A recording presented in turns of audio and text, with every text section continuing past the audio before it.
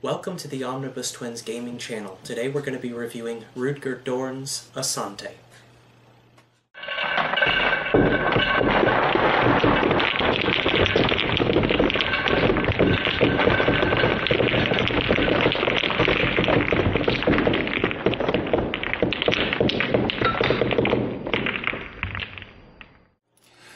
Right, guys, so this is how Asante is going to be laid out on the table. You're going to see we're using different money here because I think that the money that comes in the game is just a little bit bland. You know, yeah, it mm. represents gold, but it looks kind of bland. So we've replaced our money with different beads and shells to just kind of keep the theme. I would suggest if you have the opportunity, do a little bit of upgrading here and there. It really keeps the fun in the game. So we're going to go through a real quick look at how this game works and take a look at the cards as we're playing because this is Michael Menzel art. It's beautiful stuff. So, to start out, I'm going to take these action points that are on my side of the table and I'm going to be spending them for each action I take. Now, I could use one of these to draw, but I got a really good hand this time, so I'm actually going to skip my draw phase and go straight into playing cards. So I'm going to start my turn, and I'm going to use these two action points here, and I'm going to put them over on Sarah's side of the table. And I'm going to do two of these buy cards. The first one of those is going to cost me five of my gold, so I'll pay five gold to the bank, and that's going to get me... Green, sugar, and fur. And I'm going to put those here in my market stall like this. Now you'll see I'm taking up three of my spaces, which means I only have three more spaces. So this is going to fill me up, and I'm going to have to sell them. So this one here will cost me five, and it'll get me fruit, it'll get me silk, and it'll get me silver. Fur. Oh, Zach. fur, sorry. Thank you. Silly. All right. So that has me a full stand, and that's going to leave me with three action points. Now I'm actually going to end my turn and give all three of those action points to Sarah, and I'm going to use those three action points to take back a gold from the bank and place it in my stock. And then we'll move it on to Sarah's turn. Alright, so it's my turn now, and I'm not entirely satisfied with my hand, so I am going to spend an action to draw a card. So, oh my, I've drawn a card I already have. So I'm going to go ahead and draw another card. Now, when you decide you want to draw a second card, you have to discard the card you just drew. So that goes immediately over into the discard pile. I use a second action and I draw another card. Okay, that's perfect because that right there gives me a wares card. So this is a decent wares card because I can buy at a low cost and sell at a high price. So I'm going to keep that in my hand. So next, I'm going to spend an action to play a strong box. Now this here is an artifact. You can tell by the leafy greens up in the corner there. That's the only way to tell that it's an artifact. So pay close attention because this here means person or animal. That means artifact. Two very different things. Alright, so I'm going to play an action to play the artifact. Now, when you play an artifact, you put it immediately on a piece of land. Whatever piece of land you put it on gets handed to the other player. So I'm going to play this here on Kilimanjaro, and that goes immediately over to Zachary's side.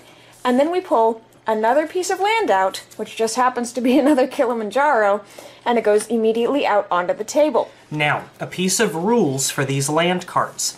They do not go into your hand. They stay face up in front of you for the course of the game. Now, the cool thing about these land cards is uh, when you play them, you get to play them and use the number of actions that you have cards. So what this means is that if I had these two Kilimanjaros over here, it allows me to take any of the actions available to me with the Kilimanjaro card. So if I play the first one and discard it, I get to do that twice. And then the second one will only get me one. So if I had three of them, discard the first one, I get to do it three times, discard the second one two times, discard the third one one time. So it's a really cool stacking benefit that you get. Okay, so after that, I'm going to go ahead and play a wares card because I don't have anything in here. So I'm going to play this here. I'm going to buy for five and get a silver, a fur, and a sugar. So I'll discard that, pay my five, and get my wares, which I will immediately place in my little stall here. There we go. All right, now that leaves me with one action. So what I'm going to do is I'm going to play a character card or an animal card, in this case. This is Flamingo. So now I am playing this. It says your opponent must decide to skip either his draw cards phase or his play cards phase. So I play that. Zachary makes his decision now. And I'm going to skip my draw phase. Okay, so he is not allowed to draw cards this next turn. And now it's his turn. Okay, so I skipped my draw phase because I'm going to be really sneaky about this. I'm going to spend my Kilimanjaro card to do a one-for-one -one exchange. So I am going to take this fur and I'm going to change it out for a silver. So now I have this really cool character card here that is going to let me draw as many cards as I have wares in more types than my opponent. So, Sarah here has three wares. I have six different kinds of wares. So regardless of the fact that I had to skip my draw phase, I still get to draw three cards. So, and that costs another action. So this actually turned out really good for me because I just drew pottery which has a really cool effect on it that is going to allow me to sell my cards as I have different types. So I'm immediately going to choose to play this card on Kilimanjaro here, just because. And then I'm going to choose to use it. So that and then that. And I'm going to sell everything I have, and I'm going to get to take 20 gold from the bank. And that is basically how that, that turn's going to work for me. I end up with this wasted one here. I'm not too worried about it because I'm ahead right now. So let's see what Sarah does to respond. All right, it's my turn. So, on my turn, I'm going to go ahead and skip my draw phase. I don't feel like doing that right now. Instead, I am going to play on my strongbox here.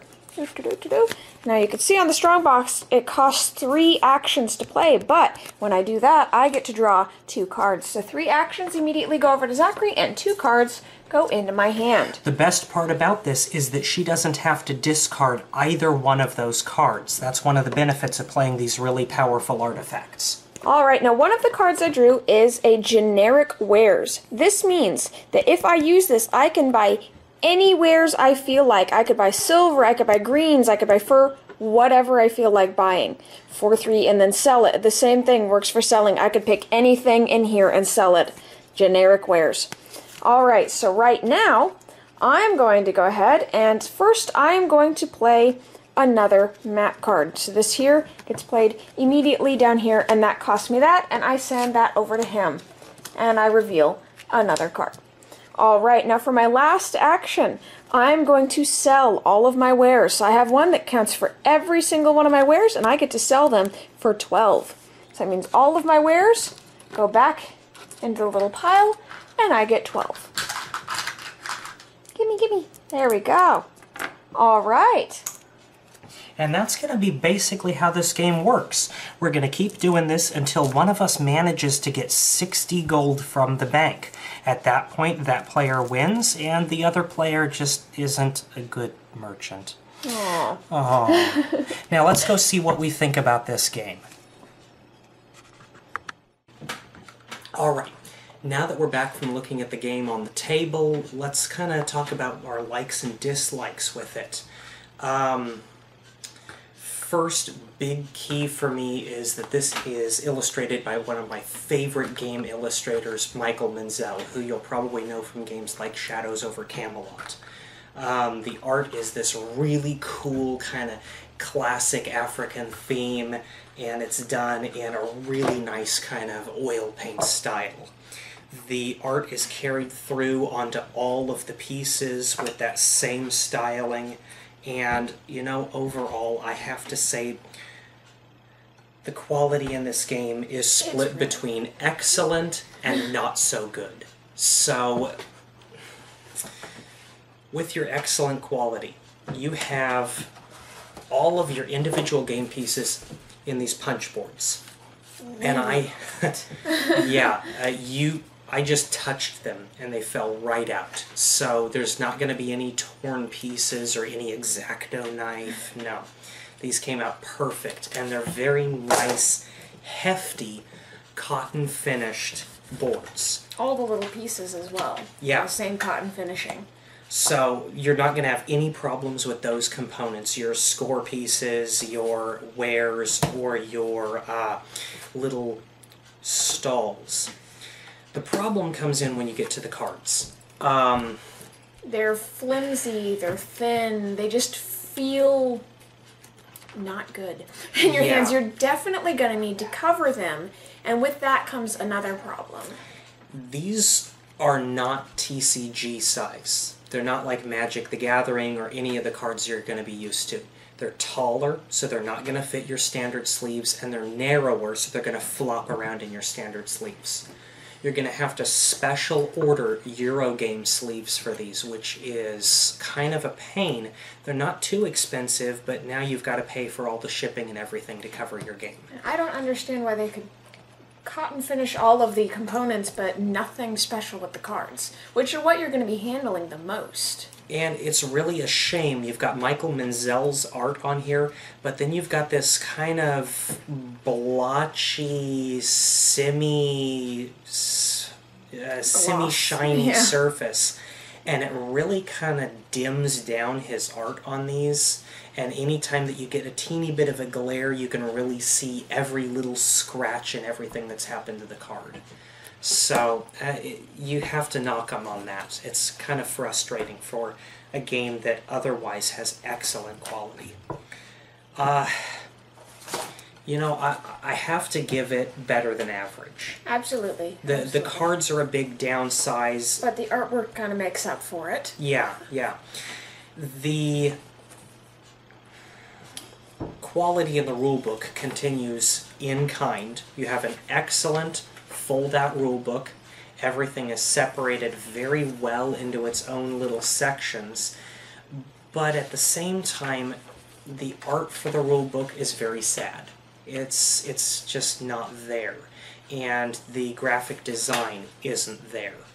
So I mean, I it, it kind of scrapes in at a four for me. It's yeah, it's a bit of four for me as well, and it's mostly because of the cards and the meh rulebook. Yeah, yeah. However, this game really comes back when it comes to ease of play. Um, the rules are very simple for this game. There's a couple of them that are fairly ambiguous, and there's going to be a few symbols that you have to learn. Um, Yeah, we've got you know as far as the symbols go, the only ones you're really going to need to learn are on the land pieces, and we'll get a close up of we'll, did get a close up of these on the table. Um, you've got a card symbol, you've got a little um, action symbol, you've got a gold symbol, and then you've got a one for one and a question mark, which are easily explained in the rule book. Very simple. Um, so the, the symbols are relatively easy to learn on everything except for your um, cards that you'll be playing. yeah, your Where, artifacts where, and your um, persons and animal cards are going to be a little weird because instead of giving you just the type of card they are, They've got this tiny little border that you have to pay attention to, otherwise you don't notice. Yeah, yeah. Now, as to the symbols, though, if you don't mind leaving your rule book open on the table, they're actually outlined really clearly with the symbol and exactly what you can do with them. So that's not too bad. Um, the game itself plays out really fairly quickly. Um, everything is pretty clear cut. I love these action markers. There is no way you can mistake who whose turn it is and how many of these they've got left. You just pass them back and forth on the table. It's very clear cut. The um, the wares and the stalls they're laid out in such a way that you can only fit the number in that you're supposed to have in, so that's really clear cut. You don't have to worry about accidentally having too many. The wares cards themselves are Super very clear cut. They tell you how many you can buy, how many you can sell, and what they buy and what they sell for. So there's no confusion there. And then, as far as scoring goes, they give you the uh, ability to play a standard size game, and it's easy to tone it down from this 60 gold game to a shorter game. It, it scales really well. Um, I'm gonna have to give this game a, a five for ease of play. Absolutely a five. Yeah. I, I loved it. It was a fast learn. I think there was only one rule in the entire game that we mistook, and that was a quick and easy fix. So, Yeah. Uh, replayability in this game for me, I love this game. Uh, I, I know when you talk about a commerce game, it doesn't sound terribly interesting, but this is a very easy game to get into, and it's a very easy game to get quite cutthroat in. Yeah, without being too aggressive. Yeah. The, the cards and uh, the people you're going to play against each other have this sort of mild sense of humor to them. And a lot of the times, what affects your opponent will also affect you, so you've got to be careful what you're playing. At the same time, this is a short enough game that you can get as cutthroat as you want to, and it's really not going to get to that stage where it's just mean spirited. Hmm. So, um, also, because of the way that the game's set up, because of its theming, it's not really going to get old on you because the mechanics just allow for, you know, almost like chess, you to just improve your game each time. So, overall, I have to give it a 5 there. May as well. Yeah. Yeah, it's, it may be lower if you don't uh, like the theme, if you don't like the economics concept. I know. I came into this game dreading the thought of an economics based game. I thought it was going to be the worst thing ever, but as soon as I started playing it, I realized it was a lot different than what I was imagining. And I think that's going to be the case with most people. Yeah, Is they're going to be put off by the theme, but as soon as they start playing it, they're going to realize it's not as bad as it sounds. yeah, we're not talking like one of those stock market spinner games where you're running numbers in your head. All the numbers are laid out for you on the cards. It's fast paced, it's fun, it's competitive without being too competitive. Yeah, all the strategy really comes down to knowing what to keep in your market stall and how far to plan ahead. Mm-hmm. That's really what it comes down to. So, this game, all in all, for us, really easily pulls on the lower end of a five, I would say. 4.5, yeah. Yeah, we, there. we can't give it that perfect quality because there are some production value issues and there's some ambiguous rules to it. A couple, yeah. But this is this is as close to a five I think as we have reviewed thus far. I think. Yeah. so all in all, absolutely, if you can get it inexpensively, invest in this game. You'll keep it on your shelf for years to come. If you got any questions about the way the game plays or where to get it, just stick it down in the comments and we'll get back to you. We'll see you guys later. Bye.